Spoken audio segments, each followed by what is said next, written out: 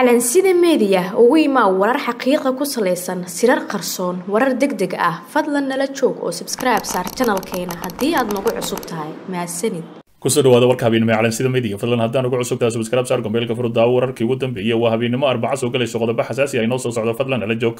Xog xasaasi ah ra'iisul wasaare roble oo la kulmaya musharaxiinta mucaaradka islamarkaasina tuugtamaya inuu la heshiiyo si kastaba ha ahaatee musharaxa ugu horreeya oo la kulmayo ayaa la ogaaday. Ra'iisul wasaaraha xukuumadda federaalk soomaaliya mudane maxamed xuseen rooble oo xal u raadinaya muranka ka taagan doorashooyinka dalka ayaa bilaabay kulamo xal raadin ahay oo la qaadanaya musharaxiinta mucaaradka sida weyn uga soo horjeedo islamarkaasina miisaanka culus leh. Rooble ayaa lagu wadaa inuu kulan gaar ahay la yeesho siyaasiga caanka ah cabdiraxmaan cabdishakuur warsame oo ka mid ahay midowda musharaxiinta mucaaradka ee sida weyn uga soo horjeedo hanaanka ay dowladda federaalk ku wajahayso doorashooyinka cici shakuur ayaa ah ninka baraha bulshada ku soo jeediyey dowladda federaalk soomaaliya islamarkaasina isha ku haya ninkaasi ayuu ka bilaabaya kulankiisa hase ahaatee waxa uu sidoo kale dalbaday inuu gebi ahaanba la kulmo asigoo tuugtamaya. Sida ay xaqiijiyeen ilo ku dhow xafiiska ra'iisul wasaaraha waxaa kulanka intiisa badan diiradda lagu saarayaa tabashada ay qabaan bahda musharaxiinta mucaaradka dalka oo miisaan culus leh.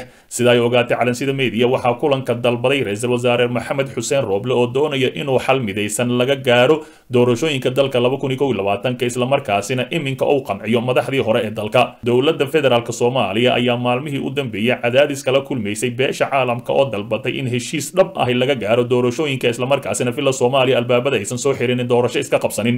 Si kastaba musharaxiinta mucaaradka oo hadda intooda badan ku sugan yihiin garowe ayaa si weyn uga soo horjeedo guddiga doorashooyinka dalka ee lagu dhawaaqay islamarkaasina uu doonayo madaxweyne farmaajo inuu ku boobo. Dhinaca kale guddoomiye caano booro oo xilka u kala wareejiyey taliyayaal la isku bedelay. Guddoomiye ku-xigeenka koowaad ee maamulka gobolka banaadir ahna ku-xigeenka maamulka iyo maaliyadda mudane cabdiqaadir maxamed maxamuud caano booro ayaa maanta xilka u kala wareejiyay hogaanka cusub ee taliska ciidamada ilaalinta deegaanka dowladda hoose ee xamar. Madaxweynaha jamhuuriyadda federaalk soomaaliya mudane maxamed cabdulaahi farmaajo ayaa dhowaan xilka ka qaaday taliyihii hore ee ciidanka ilaalinta deegaanka xamar isagoona magacaabay taliyo cusub.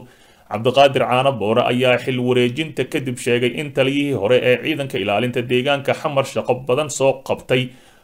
Waxa uuna taliyaha cusub kula dardaarmay in halkiisa ka sii wado shaqadii ciidanka qaranka munaasabadda xil wareejinta taliyayaasha waxaa goobjoog ka ahaa taliyaha laanta ilaalinta canshuuraha bariga genaraal bariise guddoomiye ku-xigeenka arrimaha bulshada gobolka banaadir xoghayaha guud ee maamulka gobolka banaadir iyo guddoomiyaal degmo. Dhinaca kale guddoomiyihii cusbaay ee maxkamadda sare oo u digay saraakiisha saldhigyada booliiska. Guddoomiyaha maxkamadda sare ee ciidanka qalabka sida maxamuud maxamed xasan dalab oo maanta xilka la wareegay asna ayaa digniin adag u diray saraakiisha ciidanka dowladda soomaaliya ee ka howlgala saldhigyada waxa uu sheegay in talisyada saldhigyada looga baahan yahay hubin iyo sugid dadka ay soo qabtaan ka hor inta aysan u soo gudbin maxkamadda ciidamada qalabka sida.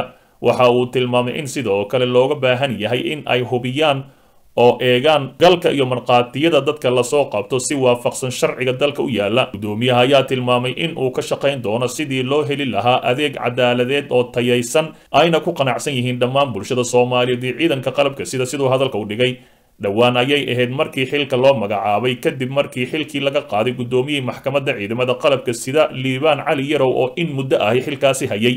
Dhinaca kale dowladda federaalk soomaaliya oo dhaqdhaqaaq culus ka bilowday gobolka gedo taliyaha ciidamada lugta ee xoogga dalka soomaaliya genaraal maxamed tahaliil biixi oo socdaal ku mariyay gobolka gedo ayaa kulamo la yeeshay saraakiisha ciidamada dowladda iyo shacabka degmada doolow genaraal biixi ayaa kala hadlay saraakiisha ciidamada militariga soomaaliya sidii ay u xoojin lahaayeen dhaqdhaqaaqyada ka dhanka ahi ururka al-shabaab ee ka socda halkaasi.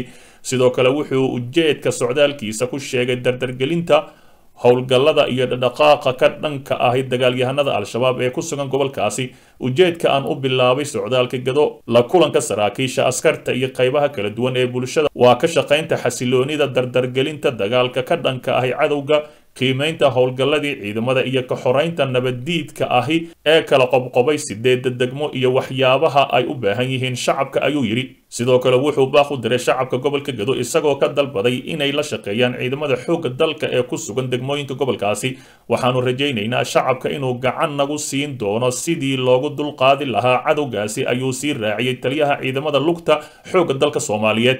Fadlan dib u daaw wararkeenii hore ee calansida meediya xog xasaasiya beesha hawiye gaar ahaan odayaasha dhaqanka hawiye oo kacay islamarkaasina sheegay in loo dulqaadan karin madaxweyne farmaajo waxyaabaha uu wado islamarkaasina maanta shir deg degaas kugu yimaaday kadib markii maalin hore shir oo u diiday madaxweyne farmaajo hase ahaatee shirkani ayay ku iclaamiyeen inay maamul gooniya u dhisi doonaan. Gobolka banaadir waa marka hore sidoo kale farmaajona uusan doorashada dalka boobi karin. Odayaasha dhaqanka beelweynta hawiye oo iminka oo hurdada ka kacay shirweyne wadatashi beelaha hawiye ayaa maanta ka furmay magaalada muqdisho iyadoo ka qayb galeen odayaasha dhaqanka waxgaradka iyo qaybaha kala duwan ee bulshada ee magaalada muqdisho. Shirkani ayaa horey loo sheegay in la diiday qabsoomadiisa villa soomaaliya is hor istaagtay balse dib u dhac hal maalin ahay kadib wuxuu qabsoomay maanta waxaana furitaanka shirkaasi si adag dowladda dhexe ula hadlay maxamed xasan xaad nabadoonka caanka islamarkaasina aan marnabo gambanin.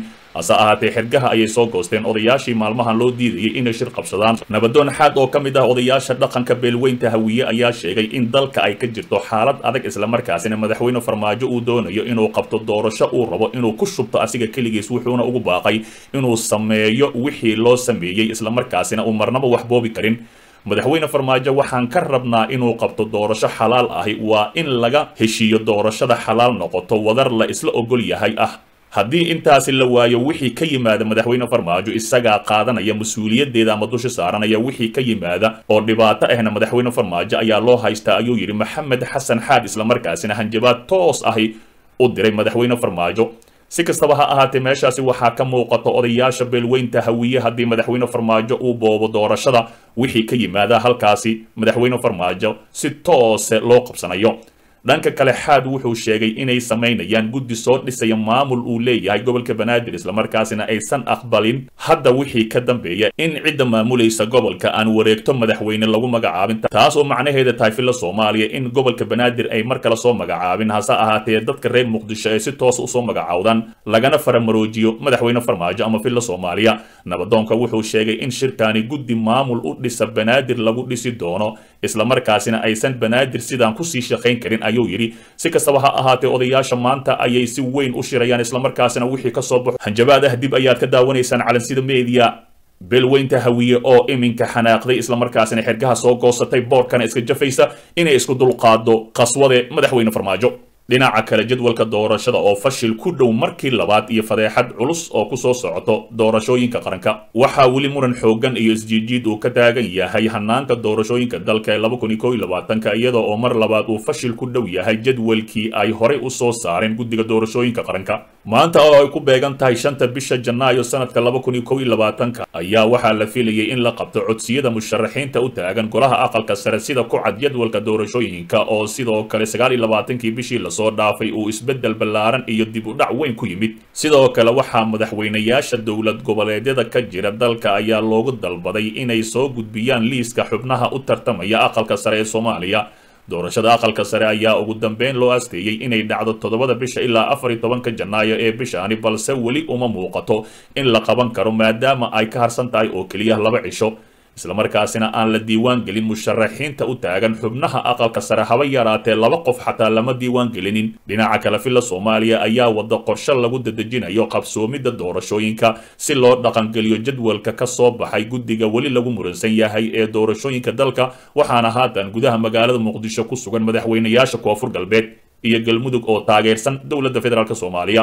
Si kastaba ha ahaatee waxaa weli halkeedii ah cabashada ay musharaxiinta mucaaradka ka muujinayaan hanaanka doorashooyinka iyo guddiyada ka shaqaynaya intaba haddii madaxweyne farmaajo uu doorashada boobo waxaa la arki doonaa dhowr madaxweyne ayagana ka lagu dooran doono magaalada muqdisho. Dhinaca kale madaxweyne qoorqoor oo muqdisho kula kulmay james iswam. Madaxweynaha dowlad goboleedka galmudug mudane axmed cabdikaariyo qoorqoor ayaa maanta gudaha magaalada muqdisho kula kulmay danjiraha qaramada midoobey u qaabilsan soomaaliya. Ambasador james iswam kulankaana uu qaatay saacado badan ayaa labada mas'uul waxa ay uga wada hadleen xaalada dalka gaar ahaan arrimaha doorashooyinka dalka.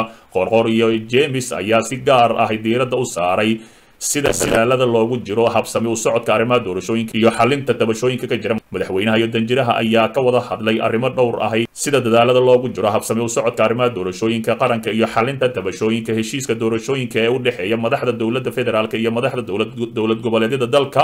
Ayaa lagu yidhi qoraal kooban oo ka soo baxay xafiiska madaxweynaha dowlad goboleedka soomaaliyeed ee galmudug. Qoorqoor oo garowe ka soo laabtay ayaa dadaal xoogan uga jira sidii la isugu soo dhoweyn lahaa dowladda dhexe iyo musharaxiinta mucaaradka oo isku haya hanaanka loo wajahayo doorashooyinka dalka oo mar kale dib uga sii dhacaya wakhtigii loo asteeyey.